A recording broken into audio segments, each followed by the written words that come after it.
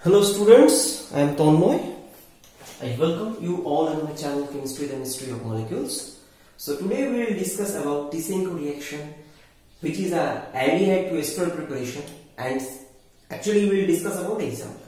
In the previous video I have explained about the basic concept and mechanism and differences with Cannizzaro reaction which often many students get confused. I have explained that in details and I have gave an overview about the Tischenko reaction for industrial preparation of acetylene, uh, sorry ethyl acetate because it's a ester preparation reaction. So please see that video, it will be very helpful for you. So after that you come to this video if you haven't seen that.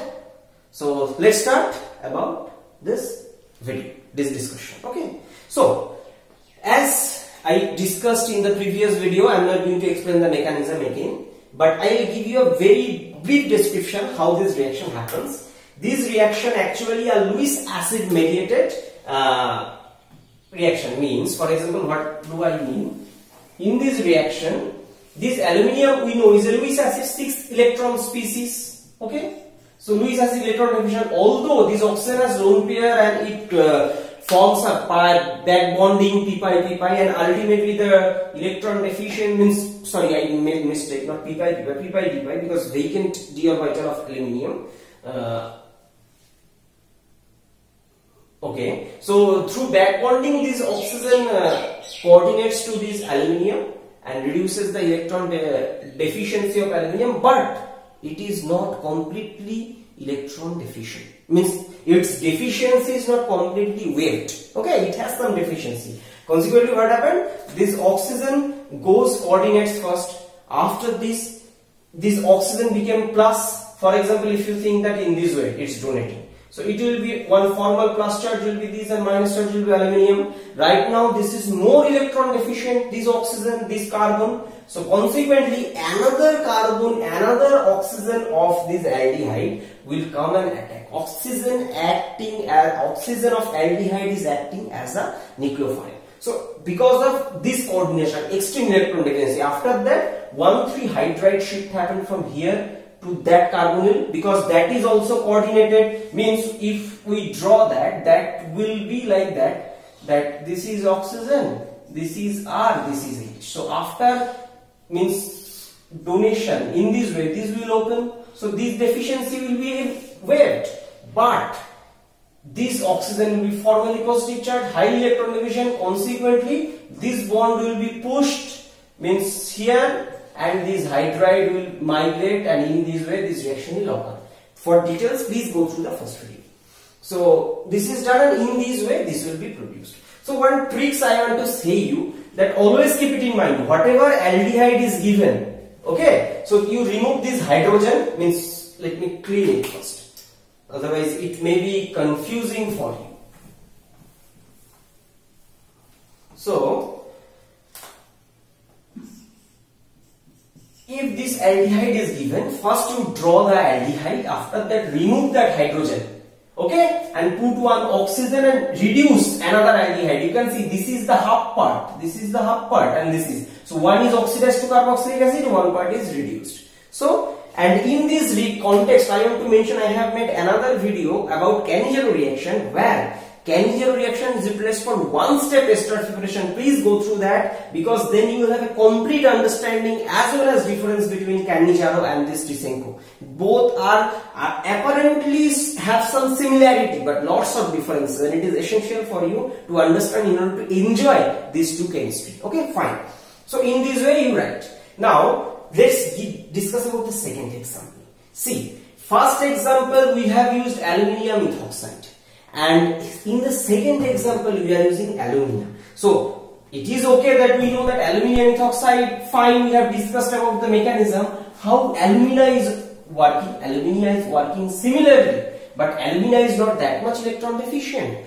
Like that it's a solid uh, uh, solid phase catalysis but industry prefer to use such catalysis because of its robustness and reusability for many catalytic cycles. Okay so it is happening similarly like this aluminium 3 plus center is acting as a catalyst and following same procedure and as I told that first draw this part you have drawn this part second remove the hydrogen and put oxygen and write this means this one step is carboxylic acid and one is methylene. So one part oxidized reduced so in this way, this is also done. So now the next example is interesting. As I told in my previous video that not only aluminium, it boron can use as acid catalyst because so because this boron is in plus plus 3 and it's a 6 electron species similar like aluminium Lewis acid fine so this is also a Lewis acid so Lewis acid means it can coordinate and activate. So that is happening. And here you can see this second example is about a paraformaldehyde. Okay. This is this reagent is named as paraformaldehyde. Why? Means you this is like paraformaldehyde. Why paraformaldehyde? Because formaldehyde is gas HCHO very low molecular weight and this is gas but it remains in but this polymeric this is this is, is a solid material so it is easier to carry formaldehyde on this and this is nothing but this is nothing but an acid okay it's an acetal molecule so at this end are open you can consider this end are hemiacetal but intermediate things are acid it's a polymeric network so under this reaction condition, this is a Lewis acid mediated. So reverse of this acetal acetal breakage happens and from this formaldehyde is produced. Okay. So when formaldehyde produced condition is similar means an aldehyde is produced and in the reaction medium there is a Lewis acid. So similarly like aluminium these also coordinates to BOH3. Okay, so this is minus, this is plus and following similar mechanism like the aluminium center catalyzed, these also reacts and ultimately end up with this methyl formate. Okay, what do I mean? This formaldehyde means this as I told, this right one part, one part you have written, then oxygen and another part should be reduced, means methyl I have written, you may write, think that for understanding CH2. CH2 this carbon will be reduced to CH2 and one H attached to H. So this is equivalent to CH3. Fine? Fine. Now you see another example. This example number 4. Here similar reaction condition is used but because of this, this needed less time but these require more time. Okay, difference is this. More time. Why? Because if you see formaldehyde, it's a very less molecule because this is hydrogen. But you see, this is a dimethyl acetaldehyde. So because of this two methyl group, bulkness increases. And if bulkness is increases, what do I mean? If bulkness is increases, then actually it's a 1,3 hydride shift. Hydride shift from another. So this hydride shift will be difficult okay because of this as and for in this context i want to mention i have made a video about Barguil-Lewis trajectory which will explain this bulkness factor precisely so if you haven't seen that please go through that so this that's why this requires more time for this reaction okay so this indicates that all the factors influential for this reaction and actually if i say all are variant of aldol condensation. Aldol is the parent reaction. So if you understand aldol properly, there should not be that much problem. It's true that it's a new type, but not difficult to understand. So always try to understand aldol condensation and Barguil-Lewis trajectory properly. It will be helpful. Now the question, this. What is the interesting about this? This is acrylate. Okay. Or you can say acrolein. So this molecule, if you see, this is a CH2 means two hydrogen and this is. And this molecule has a canonical form. What do I mean? This bond will push, it will open. So what could be possible? This is hydrogen, this is hydrogen, this is plus, this, this is, this is O minus. But if you consider a simple carbonyl compound in this way, then carbonyl compound has only one canonical form. In this way it goes and it produces this oxygen minus this plus. So compared to that, this carbonyl has a that structure along with that another canonical form possible. Okay, means what do I mean? You can think that here also possible. This double bond is intact and this is O minus, this is plus. but this plus is delocalized at this center. So what is the simple consequence? Simple consequence that this is less electrophilic. This is less electrophilic compared to this simple carbon. So alpha beta unsaturated carbonyl compound. This is alpha beta unsaturated carbonyl compound are less electrophilic than this. That's why even this uh, Cannizzaro reaction because Cannizzaro reaction it, no hydrogen alpha means no alpha hydrogen. You can argue that there is alpha hydrogen but that is not sp3 so it could not be analyzed. So this should participate in Cannizzaro reaction but in normal condition it doesn't participate because of this less electron deficiency. But this reaction is so much efficient that this reaction could be achieved under this condition. This is the interesting part of this. And in this context, I want to give you another example which is phenyl acetaldehyde, phenyl acetylene, this aldehyde. And if you put base means base means alkali, then what you can expect? Then Cannizzaro reaction will happen. So one part will be oxidized to carboxylic acid and one part will be oxidized to C, uh, reduced to CH2OH but this doesn't happen. Instead of that what it produces? It produces PH C triple bond C H and formate. O minus wow means why and how this is how this happened? Because see this is similar like this. So resonance possible. So this is not that much electron deficient Second, another part is that please keep this example in my, uh, mind that these attacks opens. What we expect that hydride shift will happen. Here instead of hydride shift, this comes out. Means this pH C C C. Now why this is carbanion uh, is coming out instead of hydride? Because we know that in case of this SP, this is relatively stable it is not that much reactive like butyl lithium sp3 carb, uh, carbon ion, but this is relatively stable. That's why this produces and another thing means uh, in this way this produces and this part means this aldehyde is converted into this. This hydrogen was previous as now this is OH from alkali and what happens? This is acidic and this is basic. This abstract this proton producing this formate and this phenylacetylene. So this is another important example. Please keep this fact in mind. Okay. So now we will discuss the last example. And this is also little unique. Why I am saying unique? Because here you can see magnesium oxide is used as a catalyst. Okay, magnesium is also electron uh, means Lewis acidic in nature, but it is it it can also perform this job. Previously, in my previous video where I have explained about the examples of Cannizzaro reaction, I have displayed that this aldehyde in presence of strong alkali undergo intramolecular Cannizzaro reaction to prepare the same compound. I repeat, intramolecular Cannizzaro reaction to prepare the same compound.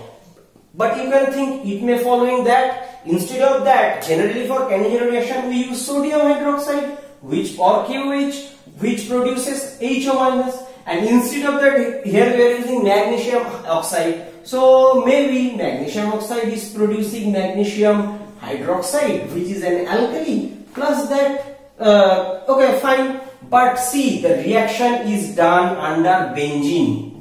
Benzene. So not this possible. Okay? So here no alkali is there. So don't be confused this is only the Lewis acidic property of magnesium 2 plus is responsible for this conversion. How this is happening? So you may think that, so this is a carbonyl, this is hydride. So, and another thing, this is also hydride. So first this will donate this electron density to this magnesium or MgO means magnesium 2 plus center because it's electron deficient.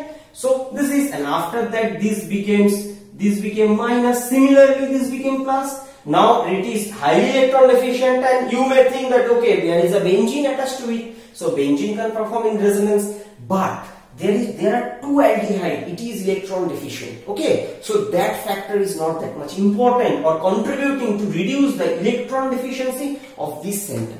So consequently what happened? This is highly electron deficient. This is highly electron deficient so what happens that at this condition at this condition this oxygen means if I write this in little different way it will be helpful for you. So this oxygen can also means this oxygen can attack here. Fine. So what it will produce?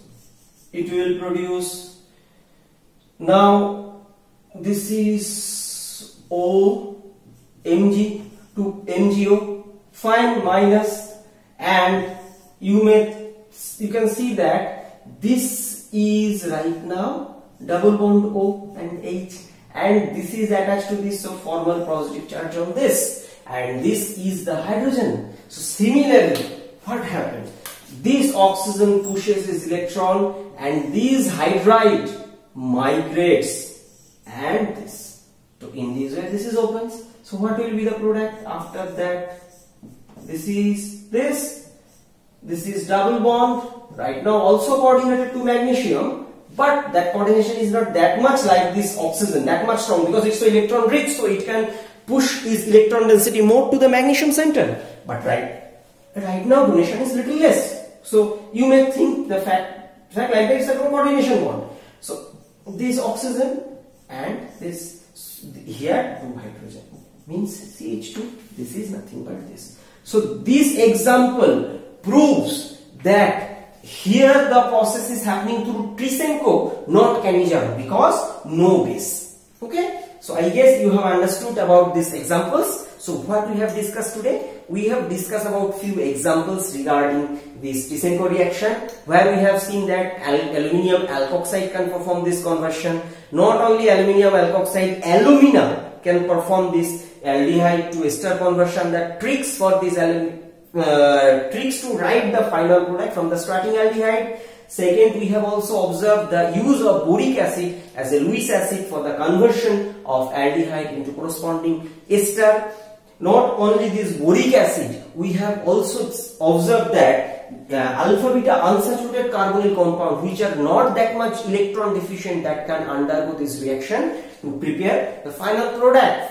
And the most importantly not only magnesium sorry uh, aluminium 3 plus magnesium 2 plus or magnesium oxide can also perform is capable to perform this Tischenko reaction to produce this finally cyclic ester or lactone fine? So this is the end of the discussion. If you like my teaching please give a like and share this video among your friends so that many people could be benefited from my effort. And finally please try to support my channel and spread it as much as possible because it encourages me uh, to make new new videos for you. And finally please press the bell icon to get the notification of every single video I upload. See you in my next video. So stay happy stay blessed all the best